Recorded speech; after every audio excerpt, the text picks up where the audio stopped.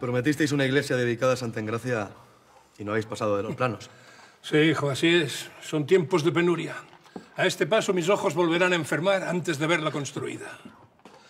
Pero a vos os prometí una sorpresa y ha llegado la hora de mostraros. Pensé que lo habíais olvidado.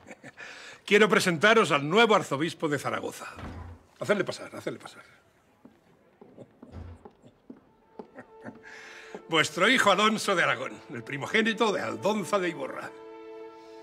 ¿Qué carnaval es este? Se trata de alguna ironía de mal gusto. ¿Pero qué decís? Es, es, una gran noticia. Nos ha costado mucho tiempo y esfuerzo conseguir el cargo para vuestro hijo. Es que eso nos hace feliz. Os habéis enfrentado al Papa. No os hacéis una idea de lo que esto va a provocarnos.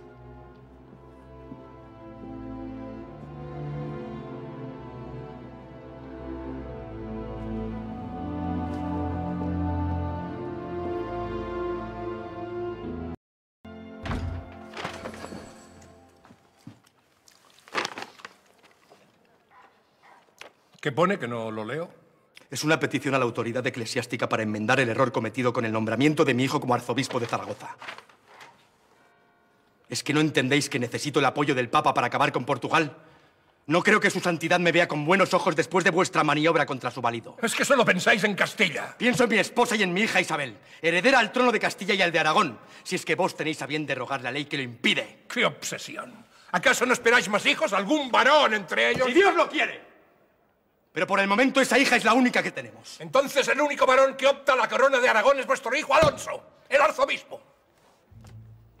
¿Preferís que Aragón lo gobierne un bastardo? ¿Qué tenéis contra mi mujer y mi hija? No consentiré que una mujer herede mi reino. Bastante tengo con aguantar las trabas que me pone la vuestra sirviéndose de vos. En ese caso, os arriesgáis a no contar más con el apoyo de Castilla, ni con el mío propio. Traigo malas noticias.